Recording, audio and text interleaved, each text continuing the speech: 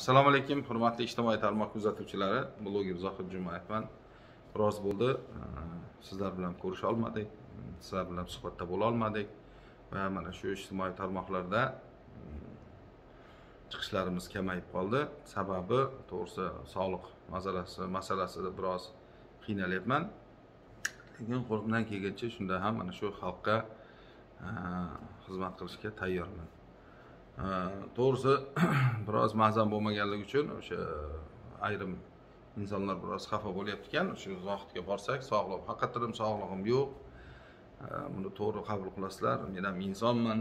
Mm, shu tinimsiz shu asabiylashishlar va mana shu tuhmatlar bo'ldi xabarlaringiz bor har xil. Mm, mana prokuraturaga ichki ishlarga rahmat. Mana shu menga qilingan tuhmatlar bo'yicha qonuniy choralar ko'rib borilyapti. Tak endi pozitiv masalaga o'tadigan bo'lsak hurmatli do'stlar bugungi bir chiroyli pozitiv bor. Bu masala bo'yicha jizzax viloyati soliq boshqarma boshlig'i va uning xodimlariga mingdan ming rahmat deymiz. Sababi yana bir bor. Bu mana shu yaqinda e, xabarlarimiz bor. E, Maqsuda ismli e, o'sha xasta singlimizni chiqargan edik hokimiyatga olib borgan o'sha ayolimizni aynan mana shu jizzax viloyati soliq boshqarma boshlig'i o'zi kafilligini olib mana shu davolanishda u o'sha tashkilot ham jonbozlik ko'rsatyapti. Ya'ni do'stlik tumanida to'rtinchi sektor nimasida yashaydigan o'sha ayolni jizzax viloyati boshqarmasi o'z bo'yniga oldi. Do'stlik tumani emas lekin o'sha boshqarma boshlig'i bekzod akamidi ismi o'sha kishi bo'yniga olib mana kecha toshkentga o'zlari o'sha yuborib u kishini davolanishida o'sha juda katta laboratoriya ya'ni tekshiruvlarga yuborib to'rt million dedimi qanchayam endi to'g'risi summasini bilmayman.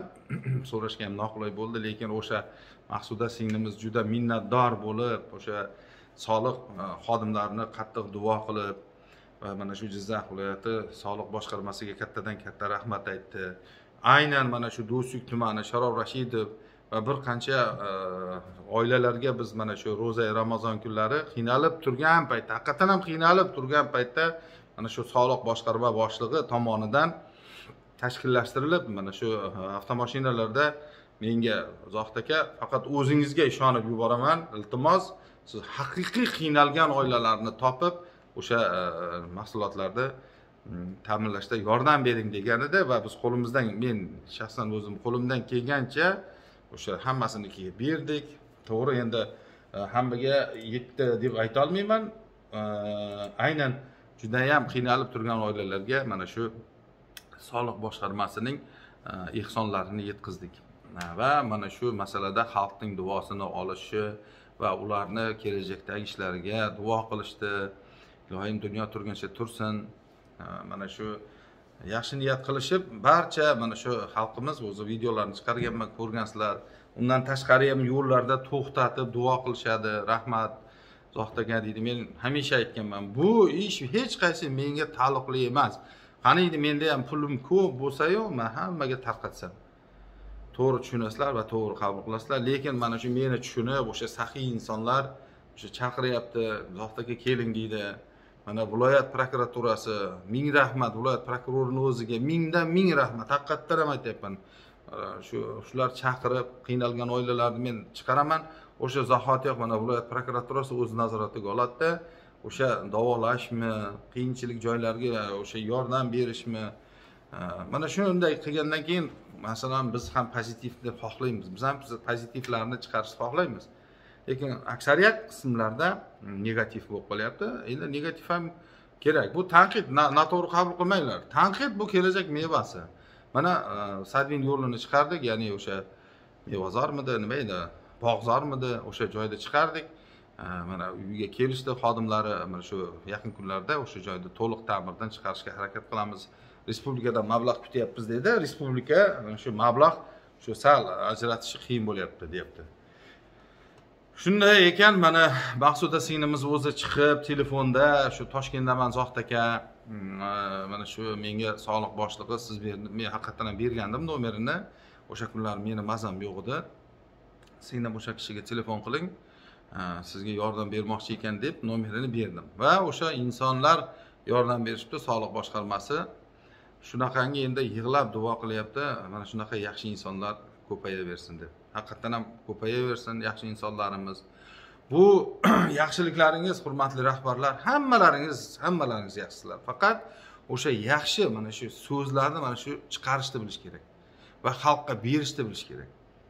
Meni yomon ko'rishni meni yaxshi ko'rishni foydasi yo'q hurmatli rahbarlar. U nima deydi? Meni shu sizlar qancha yaxshilik qilib yaxshi ishlar olib borsangiz men pozitiv ko'rsatib ketaveraman. U shart emas menga o'sha sizlarni e, nafratlaringiz yoki menga qilgan rahmatlaringiz shart emas deb hisoblayman. Men bor yo'g'i sizlarni qilayotgan ishlaringizni o'sha xalqqa manzur qilib chiqarib beradigan odamman. Va o'sha rahbarlarga ko'rsatadigan yuqori turuvchi rahbarlarga ko'rsatib ko'rsatib boradigan shaxsman xolos. Demoqchimanki mana yomon emas rahbarlarimiz yaxshilari ko'p. Faqat o'sha korrupsionerlar yo'ldan ozdiradigan nopok insonlarni orasiga qo'shilib qolmanglar. Bu meni ogohlantirishim. Bu chunki e, nopoklar ko'p ularni qing'ir yo'llarga boshqaradiganlar ham ko'p. Mana e'tibor qilib turgan bo'lsalaringiz qing'ir yo'lga boshqaradiganlar juda ko'p. Va buni ortida qonun oldida o'zlari javob beradi. Demoqchiman mana shu rahbarlarimizga mingdan ming rahmat. Ayniqsa mana shu mana kecha men juda minnatdor bo'ldim. Haqiqatdan ham minnatdor bo'ldim. Bunaqa bir Э, nima desam э, holat hayajonda men э, kuzat e, bir qancha bor kuzatganman. To'g'risi bu holatda o'sha e, bir e, shunday narsalarni ko'rdim. Mana kecha jizzax viloyatida ijtimoiy himoyaga muhtojlarga davlat xavfsizlik xizmati tomonidan ajoyib bir shaxmat kubogi. Men o'zim faxrlandim. Mana shu ijtimoiy Э, himoyaga muhtoj insonlar shunchalik развитый. Nima deydi? Nimadan qolib ketmaslik uchun. O'sha yanayam ularni rivojlantirish uchun davlat xavfsizlik xizmati tomonidan tashkil etilgan o'sha shaxmat kubogida men ko'rib faxrlandim. Ular e'tibor. Yanayam mana shu nima deydi? O'zlariga bo'lgan e'tibordan ular foydalanib yanayam yuqori cho'qqilarni zabt etishdi mana shu davlat xavfsizlik xizmati xohlab u haqiqatdan ham xursandchiliklarni ko'rib men benihoya xursand bo'ldim. To'g'ri oxirrog'ida bo'lolmadim. Sababi sog'lig'im biroz masafa bo'lmay qolib qon bosimim ko'tarilib ketdi va uyga ketishga majbur bo'ldim. O'sha uyga ketib to'g'rirog'i o'sha joyda shunaqa bo'lib qoldi. Lekin men xursand bo'ldim. Juda yaxshi o'rinlar egallashibdi. Bu ham bir bir yaxshi holat deb hisoblayman.